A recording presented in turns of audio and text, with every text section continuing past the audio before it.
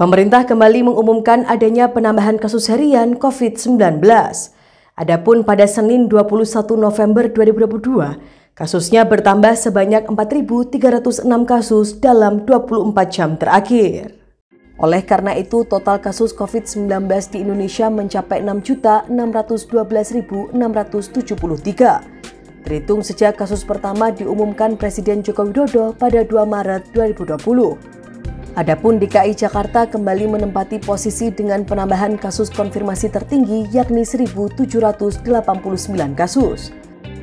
Kemudian disusul Jawa Barat dengan 829 kasus, Banten 829 kasus, Jawa Timur 358 kasus, dan Jawa Tengah 223 kasus.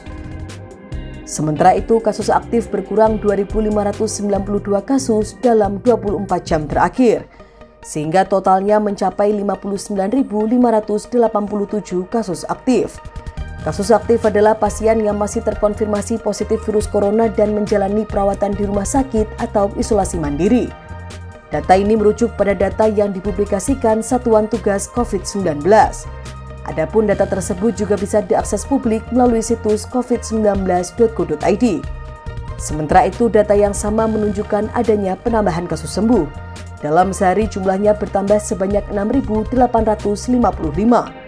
Dengan demikian, total kasus sembuh COVID-19 hingga kini tercatat sebanyak 6.393.664.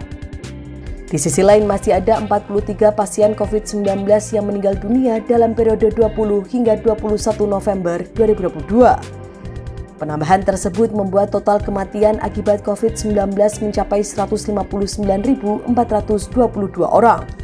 Kemudian terdapat sebanyak 3.888 orang lainnya berstatus suspek.